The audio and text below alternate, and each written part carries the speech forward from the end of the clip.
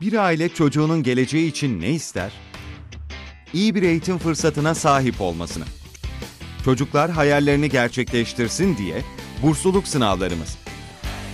Yöntemim okulları 28-29 Aralık, Yöntemim Hazardağlı Kurs Merkezi 28-29 Aralık.